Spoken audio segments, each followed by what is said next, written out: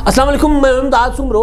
बिलाखिर इमरान खान साहब को आठ माह के बाद पता चला है कि उनके खिलाफ साजिश किसने की थी। लिहाजा खान साहब जो हैं, वो असल टारगेट को टारगेट बनाना शुरू हो गए हैं, लेकिन इमरान खान साहब की मुसीबतें अब बढ़ना शुरू हो गई हैं। बेशक उन्होंने टारगेट ढूंढ लिया है, बेशक अब पूरा का पूरा हमला जो है, तहरीक इंसाफ को उस टारगेट पर है, लेकिन मुश्किल में इमरान खान साहब की होता जा रहा है इजाफा, क्योंकि उनके ऊपर होने वाले हमले की जे आई टी वफाकी हुकूमत ने तश्कील दे दी है। पहले पंजाब हुकूमत ने तश्कील दी थी, अब वफाकी हुकूमत ने तश्कील दी है। इन दोनों बातों से पहले अच्छा एक और भी मामला है। इन दोनों बातों के अलावा एक और मामला है, वो है इमरान खान साहब की जो पार्टी की सरबराही है, वो मामला अब अदालत में लार्जर बेंच बन चुका हुआ है। तो वो क्या बनेगा उसका? ये भी सबसे बड़ा सवाल है, लेकिन इन तीनों मामला से पहले एक और वाक़ हुआ है पाकिस्तान में, और वो ये है कि नकीबुल्ला महसूद के जो कत्ल में जितने भी मुलजमान थे, बशमूल राव अनवार, सबको कराची की एक मकामी अदालत ने बरी कर दिया है।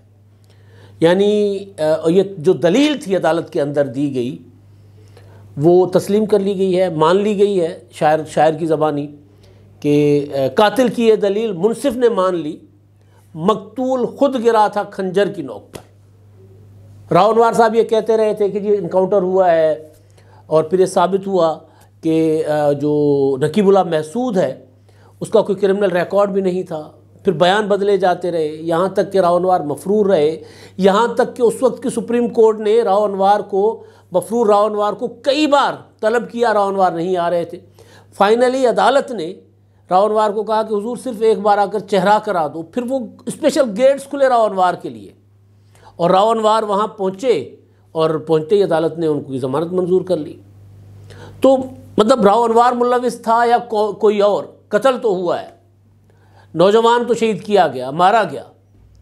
पुलिस मुकाबला था या जाली मुकाबला? कोई चीज़ साबित तो करनी थी कुछ साबित हुआ नहीं और अदालत ने जो है वो भरी कर दिए सारे के सारे मुलजमान जब ये खबर आई तो मुझे याद आया कि मुर्जा भुट्टो शहीद को जिस तरह घर के सामने तीन तलवार पर क्लिफ्टन में कत्ल किया गया था पुलिस मुकाबला दिखाकर, रास्ता रोका गया था, गोलियाँ चलाई गई थी, छलनी किया गया था। लेकिन उसमें भी पुलिस कह रही थी, हमने नहीं कत्ल किया, कोई और पुलिस ने बंदे ढूंढ कर नहीं दिए, जितने मुलजमान थे सारे के सारे बरी हो गए। फिर सानिया मॉडल टाउन, ये हमारे पाकिस्तान का जो इंसाफ है ना, निज़ाम इंसाफ, उसके ऊपर ज़ाहिर सबसे बड़ा सवाल है।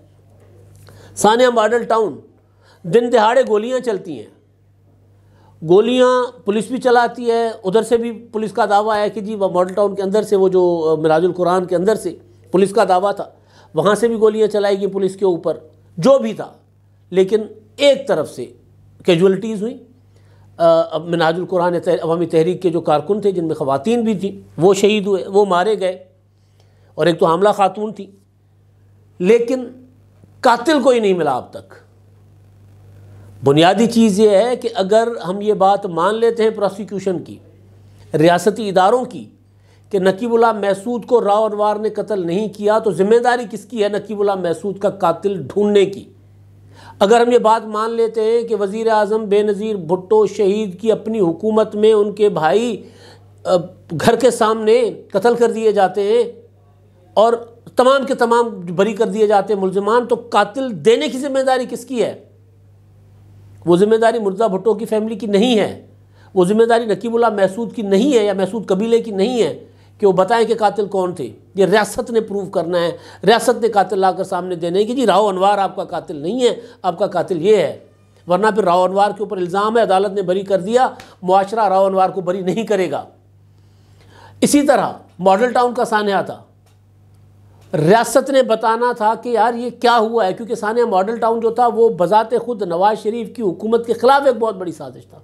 मैंने उस वक्त भी कहा था कि जो मुर्तज़ा भुट्टो को कत्ल करके बेनज़ीर भुट्टो की हुकूमत के ख़िलाफ़ किया गया था, वही कुछ मॉडल टाउन का सानहा करवा कर नवाज़ शरीफ के ख़िलाफ़ किया गया था। यानी आदतें वही हैं, हाथ वही होंगे जो मुर्जा भुट्टो की कत्ल में थे। ये तो नकीबुल्ला महसूद वाला कत्ल को इतना हाई प्रोफ़ाइल कत्ल नहीं था।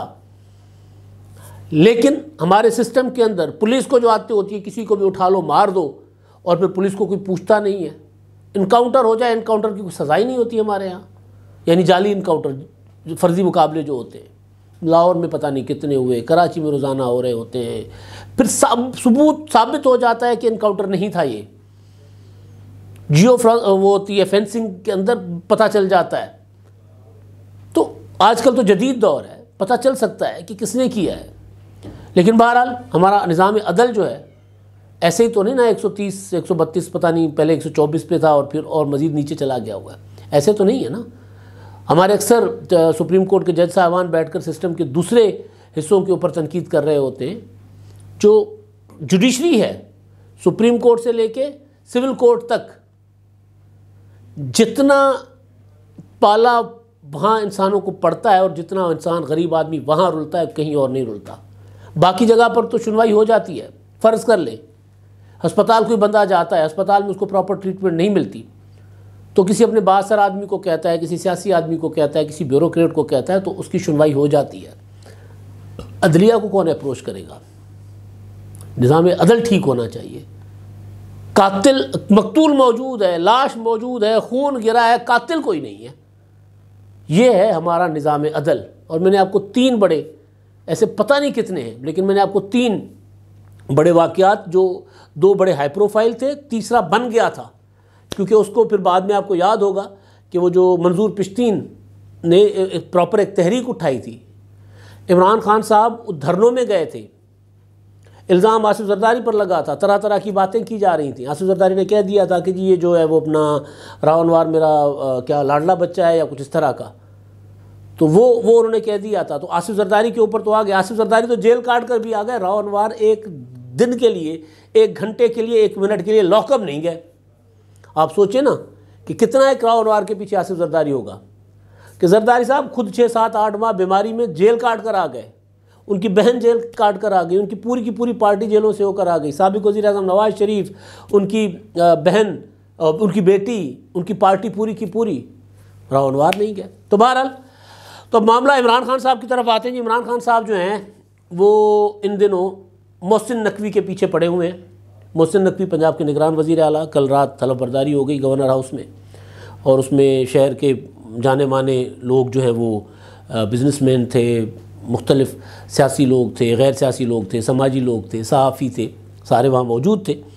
और एक पुरवकार तकरीब थी उसमें उन्होंने हलफ ले लिया अपना वज़ी अला का। मगर मुस्लिम लीग कायद अज़म और तहरीक इंसाफ ने ये कहकर तस्लीम करने से इनकार कर दिया है कि जी ये अपना पार्टीज़न है, जानबदार हैं। आसिफ जरदारी साहब के फ्रंट में हैं, मुस्लिम लीग नूर वालों के पार्टनर हैं तो लिहाजा हम इनको तस्लीम नहीं करते। तो दिलजलों ने यह कहना शुरू कर दिया कि जी ये तो परवेज़ लाई के रिश्तेदार भी हैं। परवेज़ लाई साहब की भांजी के शोहर हैं। यानी दामाद हुए जवाई हुए, शरीफ, अपना चौधरी ख़ानदान के। तो परवेज़ लाई को इमरान खान साहब कहते थे, पंजाब का सबसे बड़ा डाकू। पंजाब का सबसे बड़ा डाकू कबूल है, उनका करीबी रिश्तेदार कबूल नहीं। परवेज़ लाई साहब ने खुद भी कहा है कि जी, मेरे रिश्तेदार हैं तो ये कैसे लग सकते हैं? लेकिन असल चीज़ जो है, दो चीज़ें हैं। एक ये है कि मोहसिन नकवी के लिए अब ये कहा जा रहा है कि मोहसिन नकवी जो हैं असल जो इमरान खान की हुकूमत गिराने की साजिश थी ना अप्रैल वाली, वो जो तहरीक अदम अतमाद थी, उसमें असल किरदार मोहसिन नकवी का था। इमरान खान साहब क्योंकि हिटलर से मुतासर हैं, ये हम बात आज नहीं कर रहे। जब से मैंने इमरान खान साहब की सियासत देखी है, मैं तब से बात कर रहा हूँ। गोयबल्स की तर्ज पर वो प्रोपागंडा करते हैं, झूठ को मुसलसल बोलते हैं ताकि वो सच लगे। तो उसी तरह इमरान खान साहब की पूरी की पूरी पार्टी की तरबियत है। ये कल से एक तस्वीर वायरल है जहाज़ में जनरल कमर जावेद बाजवा साहब खड़े हुए हैं और उनके साथ ही आप देख लें उनके साथ एक शख्स खड़े हुए हैं जिनके ग्रे कलर के बा, बा, बाल हैं। काले बिल्कुल कम में ज़्यादातर सफ़ेद बाल हैं लेकिन मुकम्मल सर पर मुकम्मल बाल हैं। ये जैसे मेरे हल्की हल्की अब टिंड होती जा रही है इस तरह नहीं है। मुकम्मल बाल हैं घने बाल हैं। बाजवा साहब के साथ खड़े हैं साइड पोज है। ये पीटीआई वाले कल से ये ट्वीट किए जा रहे हैं, सोशल मीडिया पर फैला रहे हैं कि ये मोहसिन नकवी हैं और बाजवा साहब के साथ खड़े हैं। अब ये केयर टेकर बन गए सीएम और ये पंजाब के और ये उस साजिश का हिस्सा थे। बात यहाँ तक नहीं है। फिर उसके साथ एक पोस्टर बनाया हुआ है, जो जो उन्होंने शेयर किया है। श्री मजारी साहिबा ने ट्वीट किया है। पीडीएम के नामजद निगरान वज़ीर अला की वजह शहरत, मोहसिन नकवी लिखा नीचे नीचे लिखा पहली। रिजीम चेंज ऑपरेशन का अहम किरदार, बगैर लाइसेंस के न्यूज़ चैनल चलाना फेक फेक न्यूज़ के ज़रिए ब्लैकमेलिंग का धंधा। Haris steel mills, bank fraud case में मरकज़ी किरदार, जरदारी के काले धंधों का फ्रंट मैन। यानी जो सबसे बड़ा इल्ज़ाम है, वो तो है रिजीम चेंज साजिश का मरकज़ी किरदार। अब किरदार मुसलसल बदल रहे हैं। परवेज लाई साहब ने लिखा है मैं आगे आ रहा हूँ जो इसमें असल इशू है। लिखा है कि हारिस स्टील केस में 35 लाख रुपए की प्ली बार बार्गेनिंग करने वाले शख्स से कैसे इंसाफ की तो की जा सकती है? मेरा करीब तरीन रिश्तेदार कैसे निगरान वजी अला बन सकता है? इलेक्शन कमीशन का मुतनाज़ा फ़ैसला हर उसूल और जबते के ख़िलाफ़ है। इलेक्शन कमीशन के इस फैसले के ख़िलाफ़ हम सुप्रीम कोर्ट जा रहे हैं। ये हारिस स्टील में ना बैंक ऑफ़ पंजाब में मोनसलाई साहब जेल में थे। और यही मुकदमात थे जो इमरान खान साहब को इन्होंने ब्लैकमेल करके ये वो करके ना इन्होंने बारह ख़त्म करवाए थे। बड़ी लंबी कहानी है। और वो कह रहे हैं जी, क्योंकि मेरे रिश्तेदार हैं तो ये नहीं बन सकते। अच्छा अब मैं आता हूँ मुख्तसरन ज़्यादा टाइम नहीं लूँगा। इसमें जो इमरान खान साहब ने ना, ये जो रिजीम चेंज साजिश का जो एक बयानिया बनाया था ना, ये किसी दोस्त ने इमरान खान साहब को कहा था कि जी, ये सारा कुछ आप इस तरह एक बयानिया बना लें। उनकी बात कानों को बात अच्छी लग गई। उनको कहा गया कि क्योंकि आपके ख़िलाफ़ ये जो हो रहा है सारा कुछ, आप इसको आपने एब्सोल्युटली नॉट कहा था। वो जो इंटरव्यू में उसको उठा लें। यूक्रेन और उसकी जंग छिड़ गई, आप दौरा करके आ गए, आप उसको उठा लें, मिला के ना, आप इसको साजिश करार दे दें। फिर इमरान खान साहब ने जो डोनाल्ड लू ने अपने वहाँ असद मजीद हमारे जो सफ़ीर थे, उनको बुला, बुलाकर अपने तहफ़ात का इजहार किया था। पाकिस्तान इमरान खान साहब के रवैये के ऊपर कि वो जिस तरह अमेरिका के ख़िलाफ़ बात कर रहे हैं वगैरह वगैरह। या हमारे इमरान खान, वो बकौल उनके कि वो हमारे अमरीकी मफादात के को ठेस पहुँचा रहे हैं। तो एक उन्होंने चिट्ठी लिख दी थी कि जी ये यहाँ पर फीलिंग है तो आप, ज़ाहिर है वो एक रूटीन का मैटर होता है कि जब भी कोई मुल्क सफ़ीर को तलब करता है वहाँ की वजारत खारजा या दफ्तर खारजा जो भी तलब करती है तो वो बता देते हैं कि जी यहाँ में ये कहा जा रहा है। उन्होंने लिख दिया था। इमरान खान साहब को वो चिट्ठी आई, चिट्ठी के बाद आपको याद होगा कि उस चिट्ठी से इमरान खान साहब ने कहा था, अपना आज़म खान साहब को कि लेट्स प्ले विद इट। उसके साथ खेलने की कोशिश की इमरान खान साहब ने। और बना दिया सत्ताईस मार्च के जलसे में, जब आठ मार्च को तहरीक कदम अदमाद आती है, सत्ताईस मार्च के जलसे को कहा कि जी, ये जो है ना रजीम चेंज साजिश है और इसमें एक ताकतवर मुल्क मुलविस है। उन्होंने कहा कि जो बाइडन ने मेरे खिलाफ ये साजिश की है उसमें ये थ्री स्टूजिस आसिफ जरदारी, नवाज़ शरीफ, मौलाना फजलरहमान मुलविस हैं और उसमें हैंडलर्स जो हैं पाकिस्तान के बाद में उन्होंने न्यूट्रल्स बाद में उन्होंने जनरल कमर जायद बाजा साहब का खुलकर नाम लेना शुरू किया। आगे चलकर कहा इमरान खान साहब ने कि हो सकता है अमेरिका ने साजिश ना की हो, लेकिन मेरी हुकूमत गिराना एक साजिश थी और अमेरिका को राज़ी करने के लिए किया गया। हो सकता है, फिर कहते, हो सकता है साजिश में जनरल कमर जायद बाजवा मुलविस ना हो, लेकिन मैंने इनको कहा था कि मेरी हुकूमत बचाएँ उन्होंने मेरी हुकूमत नहीं बचाई। ये कहा, फिर जनरल कमर जावेद बाजवा से भी पीछे हट गए। फिर कहा, जनरल कमर जावेद बाजवा यहाँ पीछे हट गए। फिर कहते हैं जनरल कमर जावेद बाजवा साहब ने हुसैन नक, वो नक, क्या हुसैन हकानी मैं हुसैन नकी साहब कह रहा था हुसैन हकानी को अपना हायर किया मेरे खिलाफ अमेरिका में लॉबिंग करने के लिए ताकि मैं वहाँ पर वो वहाँ पर साबित करे कि इमरान खान साहब एंटी अमेरिका है। एंटी अमेरिका ने तो साजिश यहाँ बनी अमेरिका में ये प्रोपगेट किया गया लॉबिंग के ज़रिए कि इमरान खान एंटी अमेरिका है, लिहाजा वो फिर चिट्ठी आ गई, वो साइफर आ गया।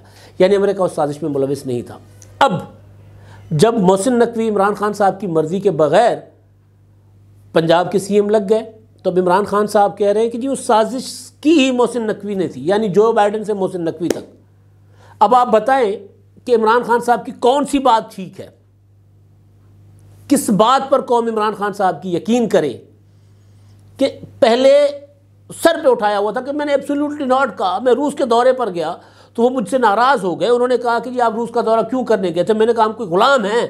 अब मोहसिन नकवी साहब तक आ गए। बुनियादी चीज़ ये है कि इमरान खान साहब जो हैं, वो जब तक मैंने पहले भी कहा था कि तीन सौ तीन सौ बतालीस कौमी असम्बली की नशस्तें हैं, तीन सौ बतालीस अगर इमरान खान को मिल गई तो भी राज़ी नहीं होंगे। तीन सौ बतालीस को तीन सौ साठ करके देंगे, फिर वो राज़ी होंगे कि हाँ जी, मेरा हक कितना था। यानी जितना आइन और कानून कहता है, इससे ज़्यादा मुझे दे दो। तो अब इमरान खान साहब खुद एक्सपोज होते जा रहे हैं। और आलम यह है कि अब इमरान खान साहब ने जितने भी झूठे बयानिए बनाए हुए थे, वो एक्सपोज होने जा रहे हैं। उन्होंने एक कमेटी बनाई थी, इमरान खान साहब पर तीन जो नवंबर को हमला हुआ था वज़ीराबाद में, उसके ऊपर इमरान खान साहब ने जे के नाम पर एक ड्रामा किया था। तीन चार जे बनाई थी कमेटियाँ बनाई थी उसके बाद वो तहलील करते रहे, फिर नहीं बना ली। और आखिरी जो थी, वो गुलाम डोगर सी सी लाहौर, उनकी सरबराही में थी। उसके भी जो चार अरकान थे, उन्होंने इख्तलाफ कर दिया था कि जी, ये तो बुला बुला कर अपनी मर्ज़ी की लिखवा रहे हैं, सियासी बयान लिखवा रहे हैं जे के नाम पर। तो वो हम तो नहीं करेंगे। तो ज़ाहिर है उसमें फिर नए लोग शामिल कर लिए गए, लेकिन अब वफाकी हुकूमत ने आईजी राव सरदार जिस, जिनकी सरबराही में सबसे पहली कमेटी बनाने का अनाउंसमेंट हुआ था, वो वापस ले लिया गया था जो पंजाब हुकूमत ने बनाई थी। उनकी कमेटी में उनको कन्वीनर मुकर करके एक जेआईटी बनाई है। इसमें पुलिस के अलावा, यानी वफा की जेआईटी होगी, वफा की वजारत दाखिला ने बनाई। इसमें पुलिस के अलावा, इसमें आई बी एम आई और आई एस आई इनके लोग भी शामिल होंगे। तो प्रॉपर जेआईटी होगी। तो अब ज़ाहिर तफ्तीश तहकीकात करेगी। अब ये नहीं हो सकता कि इमरान खान ने पहले तकरीर में कह दिया था कि जी, एक और छत से भी मेरे ऊपर गोलियाँ चलाई जा रही थी। तो अगर रिपोर्ट में उसको बग़ैर साबित किए शामिल किया जा रहा था तो अरकान ने कहा कि ये नहीं हो सकता। तो उनको जे से निकाल दिया गया है, वो निकल निकल गए। तो ये अब हकायक सामने आएँगे कौम के।